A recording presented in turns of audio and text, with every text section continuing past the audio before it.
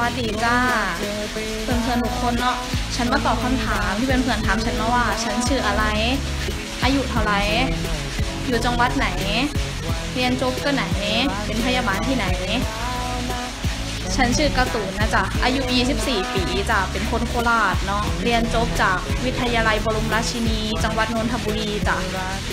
ทำงานอยู่ที่โรงพยาบาลผานังกล่าวจังหวัดนนทบุรีจ้ะ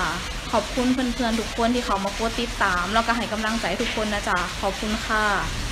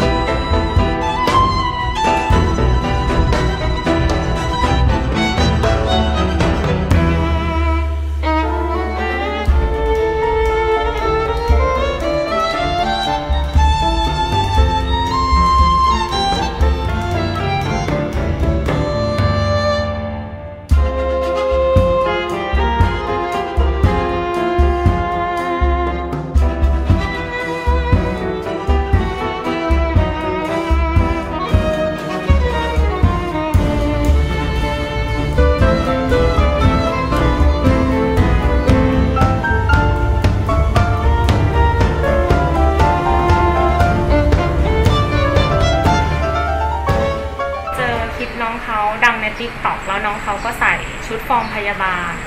เต้นเต้นเต้นในคลิป TikTok แล้วก็มีคนไปไปไปเม้นเยอะไปเม้นถามว่า น้องเขาเป็นพยาบาลจริงไหมจบจากสถาบันไหนขอดูใบ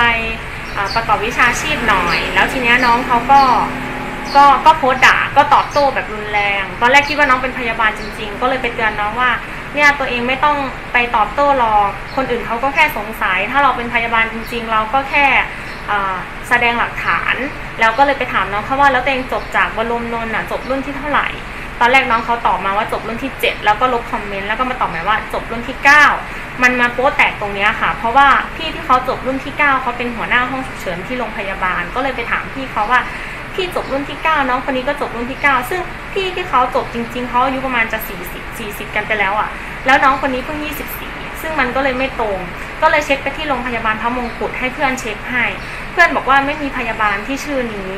ค่ะ เสร็จแล้วเขาก็แอบอ้างว่าเขาทำงานที่โรงพยาบาลพระมงกุฎ9จบจากบรมนนท์อ่าแล้วก็แล้วก็เอาชุดของโรงพยาบาลกรุงเทพคริสเตียนมาใส่ แล้วที่หน้าอกมันเขียนว่า patient assistant ซึ่งมันแปลว่าผู้ช่วยเหลือคนไข้ แต่เขาเอามาใส่แล้วเขาก็บอกว่าเขาเป็นพยาบาล มันก็เลยความก็เลยแตกตรงนี้ค่ะ แล้วตอนนั้นก็คือไปเตือนน้องเขาว่าน้องเขาอะไม่ได้เป็นพยาบาลไม่ได้เรียนการเอาชุดมาใส่ตอนนั้นยังไม่รู้เรื่องแอบอ้างอะไรเนาะก็เลยไปเตือนน้องเขาว่ามันมันไม่ถูกต้องนะ แต่น้องเขาก็ด่ามาเลยในคลิปที่เห็นนะคะด่ากาดมาเลย ด่าว่าเป็นพยาบาลจริง ๆ จะเอาใบใบที่จบมาฟาดหน้าเลยจะเอาใบประกอบวิชาชีพมาฟาดหน้า เอาตีนมาเหยียบหน้าอะไรอย่างเงี้ยค่ะ ตอนนั้นก็เลยเริ่มสืบจากตรงนั้น